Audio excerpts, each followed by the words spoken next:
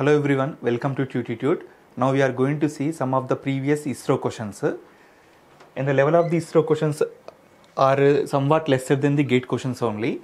So preparation for the gate is enough in order to solve the questions related to the ISRO. Okay. Now we are going to see this EMTL questions, which are the previous ISRO questions only. So the first question is the plane wave propagating through the dielectric has the magnetic field component that is H. That means H bar is equal to 20 into here I, I will write that one. So H bar is equal to 20 e power minus ax cos of omega t minus 0.25 x and which is oriented in the direction of y direction that can be told by seeing this a vaikya and because it is a h bar that means magnetic field intensity it can be measured in amps per meter. And clearly here they have mentioned ax ay az are unit vectors along xyz axis respectively. So this is a given h bar. What we need to find? Determine the polarization of the wave. Okay that is what we need to find. So but by seeing this particular magnetic field intensity vector what information we can able to take from this particular equation so easily we can able to understand that h bar is oriented in y direction. Okay h bar is having only one component that is y component. By seeing this unit vector we can able to tell. So whatever is, there here this is related to y component of the h bar. Okay then this is the peak value and it is related to the space variation. So while it is traveling in the space exponentially it is decreased. Okay. So and this a is indicating with what rate the wave is reducing while it is traveling with respect to x. Why it is x in is nothing but it is traveling in the x direction positive x, x direction. How to tell that one? You can concentrate on this one so whether it is cos or sine you need to concentrate on this one. This is in the form of omega t minus beta x. Okay omega t minus beta x. Here i am taking that one. Beta x. Whenever here you are having minus beta x or minus x this is representing the wave is traveling in the positive x direction. If it is plus beta x it is traveling in the negative x direction and if it is minus beta y traveling in the plus y direction plus beta y traveling in negative y direction minus beta z traveling in plus z direction plus beta z traveling in minus z direction. So anyhow here they have mentioned minus 0.25 into x. So the wave is traveling in x direction. Okay.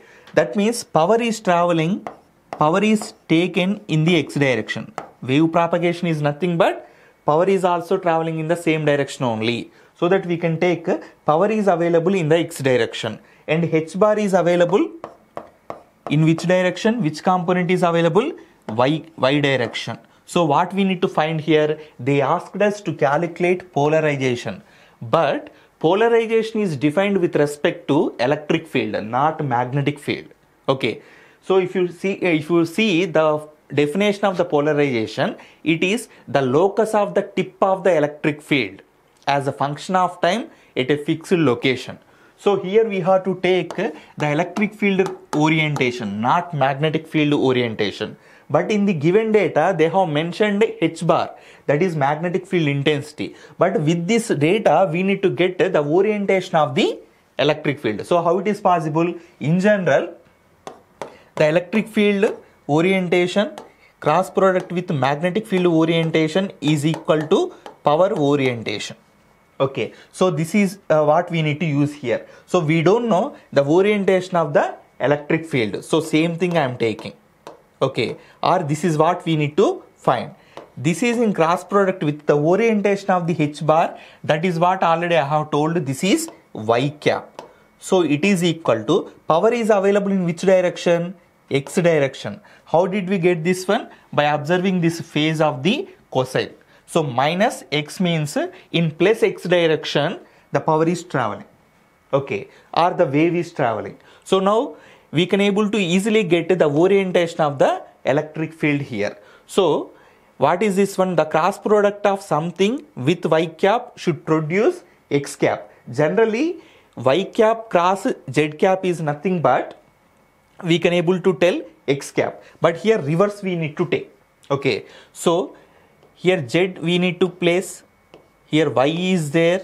So here generally z cap cross y cap is nothing but minus x cap. Because here reverse order is there. Y cross z is nothing but x will come. But here z cross y is there. So that here minus x will come. But here plus x is there. So that you keep minus here that means electric field is oriented in the minus z direction okay electric field is oriented in the minus uh, z direction so polarization is also minus z direction so this is the correct option Okay, so you should know here what is the polarization. Polarization is defined with respect to electric field and getting the direction of the electric field is important here. Okay. Now we will see the next question. In free space, h bar is equal to 0.1 cos omega t minus beta x into az. So that one I am writing here. Free space is nothing but epsilon is equal to epsilon naught we can take and uh, mu is equal to mu naught we have to take okay then h bar is equal to what they have given the magnetic field intensity h bar is equal to 0.1 into cos of omega t minus beta x multiplied with az cap multiplied with az cap okay this is amps per meter and AX, AY, AZ are the unit vectors along XYZ axis respectively. The total power passing through a square plate of side 10 centimeters by 10 centimeters on the plane x plus 2y is equal to 1. So I will write here this is the plane we have to take. This is 10 centimeters by 10 centimeters but this is taken on the plane x plus 2y is equal to 1 okay so this is what they have given is approximately. So what we need to find here? We need to find the total power passing. So here certain amount of uh, uh, plane is there. That plane is given by x plus 2y is equal to 1 that is the plane. Okay that is the plane. But in that particular plane you need to take a square plate like this. Okay. For example if you consider this entire board is the plane. Okay. And in this particular board for this particular portion how much amount of power is passing through this particular thing?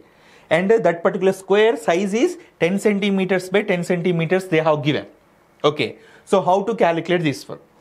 In order to analyze this one what we need to take we need to use the Poynting theorem okay using the Poynting theorem concept we can able to calculate the power passing through this particular square surface. Okay but entire surface is given by this particular thing x plus 2y is equal to 1 and this is the part of this particular total surface and we need the power which is passing through this particular square surface. Okay that is what we need to calculate. Okay so for that purpose what we need to get in the sense first of all we will calculate what is this surface okay that we will calculate. So surface is given by so surface is given by s bar is equal to okay this is a surface vector i am taking. Okay surface is the vector length is the vector but volume is a scalar. So here we are dealing with the surface so s bar we are taking. Okay that s bar magnitude is given by how much here? It is 10 centimeters by 10 centimeters. So so you can take in meters. That means it is 0.1 because it is square the area is given by 0.1 square. 0.1 square. And the surface is the I told that it is a vector. So what is the direction of this one? The direction of this particular thing is given by from this particular thing. Okay. So when you have ax plus by plus cz also you can able to take. Ax plus by plus cz is equal to some constant is there. Then the direction is given by its unit vector. So how to get the unit vector is nothing but you see here x is there for the time being you remember this one x cap plus 2 y cap by square root of its magnitude we have to take. This is a vector but we need unit vector. So how to convert one normal vector into unit vector? We need to divide by its magnitude that is square root of 1 plus 4. 1 plus 2 square 1 square plus 2 square that is root 5 we will get. So this is the surface vector. Okay this is what we got now. Now how to get the total power how to get the total power means so you see here according to Poynting theorem p bar is equal to e bar cross h bar. Okay this is the power density actually because electric field is volts per meter magnetic field intensity is nothing but amps per meter. So if you multiply these two volts amps by meter square. Volts into amps is nothing but watts. So watts per meter square that means power per area. That means this is indicating power density so don't think that p bar is nothing but power. Here it is power density. Okay. That means watts per meter square we will get. Now the average power from this particular thing we can able to get. Average power is equal to 1 by 2 real part of E bar cross H bar conjugate. Then we can able to equate this E by H is equal to eta. That is the intrinsic impedance. Okay. That impedance we need to use here. Here this impedance is equal to we can able to take certain value because that is equal to free space. They told that this particular thing is available. This particular magnetic field intensity is available in the free space. So in the free space this eta value is equal to 120 pi. Okay this is e by h. Okay then since we we have here h bar you replace this e bar you replace this e bar with h bar so e is equal to what you will get 120 pi into h. So this one we can utilize in this particular formula, in this particular formula. So that average power is equal to what we will get? Average power is equal to 1 by 2. If you remove this, that real part also. So this E we are writing as 120 pi. Okay, 120 pi. H is there and here one more H is there. So magnitude of H square like this we will get. Okay. And here h is nothing but the peak value is nothing but 0.1 so you can substitute that one. So 1 by 2 120 pi and here 0.1 square. So this is the average power. Okay this is the average power we got. So now what we need the average power density which is passing through average power which is passing through this square surface we have to calculate so this is a power density that means power per uh, area so if you multiply this one with respect to area, you will get power. It is watts per meter square. So if you multiply with meter square, remaining thing is watts only. That is what we need to perform. So power passing through this particular surface is equal to, okay, total power density that is 1 by 2 into 120 pi into 0.1 square and it is multi this is the power density multiplied by area we have to take. What is that one? Here area vector already we got this one. Don't confuse here. This is the area vector. So if you take that one what we can write here? 0.1 square. And here we got x cap plus 2y cap by root 5 this is what we'll get. Okay. So if you calculate this one okay magnitude if you consider then you will get 8.425 milliwatts. This is the power which is passing through this particular surface. So once again you see here carefully what they have given h bar they have given. So power density we have to write only in terms of the h bar. So this particular power density formula if you see carefully this e bar should be written in terms of the h bar. So that we have written like that then we got this power density but whenever the power density is multiplied by area, then only you will get the power. So what area we have to take? We need the power passing through this particular square surface. So 10 centimeters by 10 centimeters. So area is equal to 0.1 square meter square. Okay, 0.1 square meter square. We are using that one in meters. Next, but this is not enough. Area is having the direction. That direction is given by using this one. Okay, so when you have like this, ax plus by plus Cz is equal to some constant. This is the surface equation. But what is the normal vector perpendicular to the surface is nothing but Ax cap plus By cap plus Cz cap by square root of A square plus B square plus C square. That is what we have taken here. Here anyway Z term is not there. So you need to use up to here only. Okay. So this is nothing but surface vector that is multiplied by power density you will get the power. That's it. Okay? Now we'll see the next question. Consider the rectangular cavity as shown below if a is equal to c. That means this side length is equal to this one.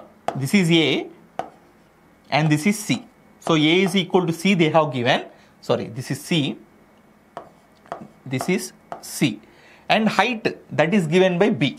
And clearly they have mentioned that A is greater than B and C is also greater than B and A is equal to C. So when you consider this is a rectangular ca cavity actually the, the waves whatever the waves we are considering here the wave representation has to be taken like this.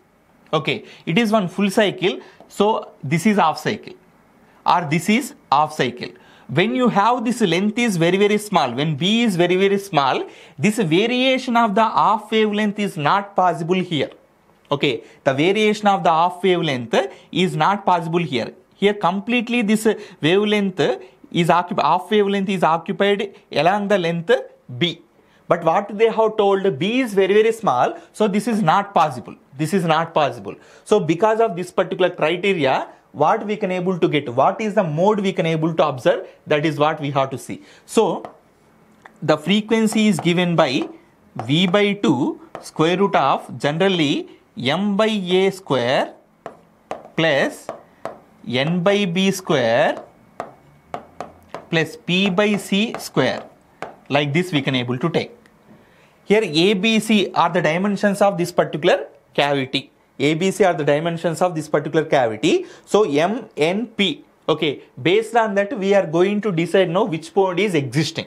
As I said previously, since the dimension of B is smaller compared to A and B, the half wavelength variation is not possible along the B. Okay, along the B. So, not possible means you no need to take this one. So, N is equal to 0 it is possible along A, so one, one wavelength variation, one half wavelength variation and along C also it is possible. So like this we can able to take a 101. So 101 mode is existing. So this is the correct option. Now the next problem is related to antenna theory. So here we need to calculate. So if the inter element spacing is half of the signal wavelength, I am reading this particular part and the direction of the maximum response is 30 degrees from the perpendicular array. Okay, that 30 degrees you can able to observe here. Here 30 degrees is there. And because it is the 90 degrees total is 90 here 30 is there means here 60 degrees is there. Because these three lines are parallel so this is also making 60 degrees here and this is also making 60 degrees here. Like this we can able to consider. And in between these two 1 and 2 you have lambda by 2 variation and in between 2 and 3 you have lambda by 2 variation. What we need to find? Okay, consider the first element as the reference. So this one we have to consider as the first element. So we need to find the phase variation. Okay, so phase variation for 1 and 2 and for 1 and 3, these two we have to find. Okay, so for 1 and 2 if you take the first calculation, so that is given by beta d cos theta, beta d cos theta why we have to take this particular formula? What is beta actually? So if you see what is beta you will not get any doubt in order to use beta d cos theta. So see carefully. Beta is nothing but actually 2 pi by lambda. 2 pi by lambda. What it is giving? The physical meaning is important. Even though we are using the formulas you should understand the physical meaning. Then conveniently you can able to use the formula wherever it is required so it is the phase constant. Beta is the phase constant. Numerator if you observe it is the phase. Okay, how much phase variation is available for 1 meter? You see here I am telling per 1 meter because EM wave is traveling like this. For example, whenever it is traveling, okay, whenever whenever it is traveling, what will happen? Here, for example, it is traveling in the z direction. Z, there is a change in the z and there is a change in t also. That means uh, the em wave is a space varying quantity and time varying quantity. Both quantities will be changed. Space and time. Space means whenever it is traveling in the z direction we can consider here spatial coordinate is the z. So z changes and also time changes. So that means whenever uh, this spatial coordinate z is changing as z is changing whatever the change is there in the phase that is defined with respect to beta Okay, I am talking the phase change with respect to spatial coordinate change. The spatial coordinate change is z. So as z changes, how much phase is affected? That is given by 2 pi by lambda. You see here, this is the maximum change in phase, 2 pi radians. Okay, maximum change in phase with respect to one wavelength they have taken. That means complete wavelength they have taken. So it is giving the information that the phase variation per 1 meter. That is actually what is this particular beta phase constant. Similarly, if you take omega, omega formula if you observe, omega is equal to 2 pi by t. You see, lot of similarity is there in between these two. For EM wave, you need to understand these two very carefully. It is angular frequency. Okay, we know very well about this one. It is giving the variation of the phase only. Beta will give the phase variation. Omega also will give the phase variation. But beta will give the phase variation whenever it is traveling in the space. That means lambda, wavelength measured in meters traveling in the space. But this phase variation is due to the change in time. 2 pi by lambda 2 pi by t you see here it is giving the phase variation it is also giving the phase variation so that what we need to understand here it is with respect to space it is with respect to time. That is what we need to do. So once you see here carefully it is phase per length phase per distance otherwise phase per distance. When you multiply this one with the distance what you will get? Phase only. Because here distance is there here also distance is there. Meters meters will be cancelled. So you will get the total phase so beta d is the total phase but here certain amount of angle is there with respect to this uh, horizontal line. So that that angle also we have to consider into the case here. So that cos theta will come. Okay. So now I have explained why we are using this particular beta d cos theta to have the phase variations. Okay. So now in between 1 and 2 this is 1 this is 2 if you want to calculate beta already I have given that is 2 pi by lambda and d that is the distance between these two that is given by 1 lambda by 2 so d is nothing but 1 lambda by 2 and cos theta is nothing but how much angle is there? 60 degrees is there. So lambda lambda will be cancelled 2 2 will be cancelled. And cos 60 is 1 by 2 so what you will get here? Pi by 2 this is nothing but pi by 2 so in between 1 and 2 we have calculated that thing. Now we need in between 1 and 3 this is 3. So 1 and 3 is nothing but again we are taking the same formula beta d cos theta. But here d is nothing but what? Okay generally formula is given by d. Here d is there but d is the distance between those two points. Okay so here but in the question they have mentioned this one with d only this is d this is d so what we need to do in the sense in between 1 and 3 how much distance is there 2D is there. So that here you have to take a 2D. So just uh, I'm erasing this one. Here we need to use here the distance between those two. So the formula will be changed like this. Beta 2D and it is cos theta. In this manner we have to take. Okay. So beta is nothing but again same thing 2 pi by lambda.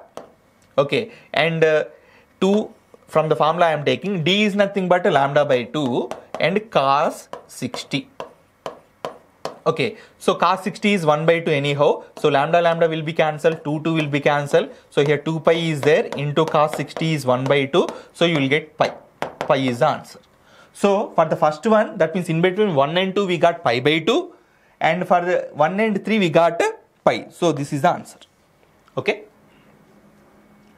Now the question is related to transmission line. So transmission line of characteristic impedance 50 ohms and feeding a purely resistive load of 200 ohms uses single quarter wavelength short circuit stub which is placed at a distance d from the load. The VSWR on the transmission line section of length d and VSWR on the stub respectively. So, here two lines you have to consider. One is this direct line, second one is this short circuited stub okay so i am giving the numbering also. This is 1 this is 2 okay main transmission line is 1 and whatever the stub we have taken extra short circuited stub that is 2 okay so what we need to calculate here? For these two transmission lines we need to find this VSWR okay for the main transmission line and for this stub also we have to find the VSWR so VSWR is given by it is voltage standing wave ratio it is equal to 1 plus mod gamma by 1 minus mod gamma this is the formula so first i will calculate for the main transmission line 1 so to calculate VSWR, we need gamma. Gamma is nothing but what? Reflection coefficient. So reflection coefficient gamma is equal to the formula is given by ZL minus Z0 by ZL plus Z0. Because there is a change is there in between ZL and Z naught, surely here non-zero value will be available for the gamma. Okay, so what is ZL? Uh, 200 they have given. What is Z naught? In the question they have mentioned 50 ohms. Okay, that is the characteristic impedance. Z naught is the characteristic impedance. So ZL is uh, 200 minus this Z naught is 50 by 200 plus 50. So what we will get here 150 by 250 that is equal to 3 by 5. That means for the main transmission line we got this uh, gamma that means reflection coefficient load reflection coefficient gamma L also we can take that is equal to 3 by 5. So now if you substitute this 3 by 5 in the VSWR VSWR is equal to 1 plus 3 by 5 by 1 minus 3 by 5. So it is equal to 8 by what we will get 2 that means 4. So VSWR is equal to 4. Generally gamma is in between 0 and 1 and VSWR is from 1 to infinity. You can check here gamma we got 3 by 5 that means 0.6 and VSWR 4. So ranges are also covered. So you can able to check the options. So for the first line here we have 4 is the VSWR. but in the option C also 4 is there. Now we are going to check VSWR for the stub also. Okay, for this is short circuited stub. Short circuit is there is nothing but load is equal to how much now? For this particular short circuit I am talking, load is equal to 0. Load is equal to 0. When you have load is equal to 0, how much amount of reflection coefficient is there? That is ZL minus Z naught by ZL plus Z naught. So if you take load is equal to 0, 0 minus Z naught is minus Z naught by 0 plus Z naught is plus Z naught. So it is equal to minus 1. Or directly you can remember for open circuit line gamma is equal to plus 1. For short circuit line gamma is equal to minus 1. Completely the signal will be reflected. Okay, gamma means reflection coefficient. When you have reflection coefficient is equal to 1, what is the meaning? The complete signal will be reflected back. But what about this minus 1 plus 1 means for the short circuit load you will get here minus 1. That means the reflected wave is out of phase with the incident wave. And when you take the open circuit, that means ZL is equal to infinity, you will get a gamma is equal to again 1 only. In magnitude that is 1, but that is plus 1. What is the meaning of plus 1? The reflected wave is in phase with the incident wave. So anyhow, here short circuit is there. You can remember that gamma is equal to minus 1 or if you calculate also, you will get a gamma is equal to minus 1 only. Now from this one, we have to calculate VSWR. Now from this one we have to calculate VSWR. So VSWR is equal to 1 plus mod gamma L by 1 minus mod gamma L. Here one thing you have to be very careful that is in VSWR formula we are using the modulus of the reflection coefficient. If you don't use the modulus if you substitute here without modulus the denominator will become infinite. Okay sorry denominator will become without modulus if you substitute uh, denominator will become 1 minus of minus 1 then that will be wrong. Okay you have to take here modulus. So what is the answer here? 1 plus uh, mod gamma that means 1 plus 1 by you will get here 1 minus 1 that is equal to infinity 2 by 0 that means infinity. So whenever gamma is equal to 1 surely you will get a VSWR is equal to infinity. You no need to calculate this also. So that basics you should have like that you have to prepare. Okay so what is the answer now? VSWR is equal to infinity means uh, option 4 is that that means option D is the correct option. So by seeing all these questions what you are getting? Okay what you are seeing here we can able to understand that from this analysis uh, the questions are somewhat easy only. Compared to gate level questions uh, these ISRO questions are somewhat easy. Okay but you need to prepare in such a way that up to the gate level if you prepare then you can able to solve these questions very easily. Now the next question we will see the plane y is equal to 0 carries uniform current density of minus 20 k cap milliamps per meter the magnetic field intensity at x is equal to 1, y is equal to 10 and z is equal to minus 2 is. So they are asking us to calculate magnetic field intensity that means uh, h bar we have to calculate and what they have given that is y, uh, y is equal to 0 plane. y is equal to 0 plane means generally xz plane. y is equal to 0 plane means xz plane. So this particular plane is having the current density place that means the surface current density plane is nothing but what surface so they have given the surface current density the surface current density is uh, represented by k bar okay that is equal to minus 20 k cap milliamps per meter. So here some confusion is there in the question. That is what you need to understand very carefully. Okay. So what is that one you see? Here surface density is represented with k bar. Okay, in the textbooks you can able to see that uh, surface density, surface current density is represented with uh, k bar. Volume volume uh, current density is represented with j.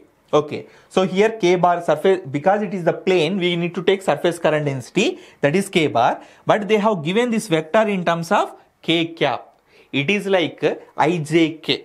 Okay, i means what? Unit vector along x axis. J is nothing but unit vector along y axis and k is nothing but unit vector along z axis. So if you have any confusion here, you can change this one like uh, minus 20 z cap also. Okay, because here k is there, here also k is there. So you might have, you may be confused here because of this uh, representation. So that I am changing that one to z cap. Okay, so now what is there here? K bar is having the z cap direction. Okay, z cap orientation. That is what you need to you need to take care. Okay, then what we need to find this uh, magnetic field intensity we have to calculate. So if you take the coordinate systems, uh, they said that y is equal to 0, that means xz plane. So this is the sheet you can able to consider. Okay, so what is the sheet direction? Sheet direction is perpendicular, perpendicular to the sheet. Surface direction is perpendicular to it. Plane direction is perpendicular to it. So in which direction we have to take? Perpendicular means two directions are there. One is right side, second one is left side. Okay, how to see this one? This is x-axis, this is y-axis, this is z-axis. So x-axis coming towards you. This screen is yz plane. So x-axis is coming towards you. So this plane is available in the xz plane. Already I have mentioned here xz plane. So this is the plane. Okay, so plane is having the direction perpendicular to it. Either this side, this is also perpendicular only. But out of these two, which one we have to prefer? That based upon the observation point. What is observation point they have given? X is 1, Y is 10, Z is minus 2. That means here either right side of the y-axis or left side of the y-axis. That is our question.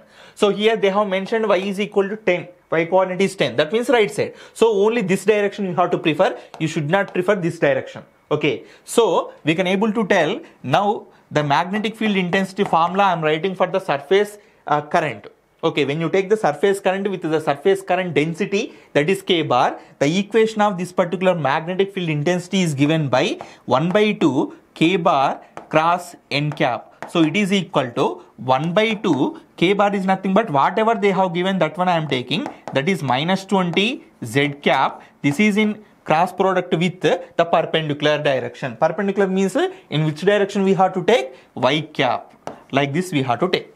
Okay. So 2 ones are 2 tens are 20. So minus 20 z cap cross y cap. Actually y cross z is nothing but x we will get. That is in the sequence. So how to remember that one? This is x cap, y cap, z cap. So if you perform the cross product in between these two, you will get z. So like this you remember cross product in between x and y will give z. Cross product between y and z will give x. Cross product between z and x will give y. But if you reverse the order minus symbol you have to keep. So here if you observe y cross sorry z cross y is there. Generally y cross z is nothing but x. But here z cross y is there. That means minus x you will get. So minus x cap. Minus into minus is plus the sorry here 10 will get na tell. So 10 x cap. Like this will get okay? So you can able to observe the answer in the options. Okay? So next a charge of 2 coulombs okay is placed near a grounded conducting plate at a distance 1 meter. So here one grounded conducting plate is there. Grounded conducting plate is there. So here one charge whose value is equal to 2 coulombs Okay, the force acting between the charge of 2 coulombs and the ground conducting plane in newtons we have to tell. So whenever the charge is nearer to this particular ground, then easily we can able to go for the image theory concept. So in case of the image theory concept, what we can do? Here Q charge is there with 2 coulombs. So here actually ground is there. Exactly opposite charge we can take at the same distance. Here distance is given by how much distance they have given in the question 1 meter So this is 1 meter distance is there. So here also 1 meter we have to take. At the same distance, uh, that means 1 meter, you will be having the opposite charge. That is minus q is equal to minus 2 coulombs. Now the force between these two will give the force between these two only. And we know how to calculate the force between the two charges, two point charges using the Coulomb's law. So F bar is equal to 1 by 4 pi epsilon Q1 Q2 by magnitude of R square into R cap. This is the formula we have. So it is equal to 1 by 4 pi epsilon. Q1 is q that is equal to 2 and q2 is uh, minus q that means minus 2 by what is the distance between these two? 1 meter plus 1 meter means 2 meters. So 2 square we will get. Okay. So if you if you are working with respect to magnitude this is cancelled by this one. So answer is equal to 1 by 4 pi epsilon. So this is the answer okay?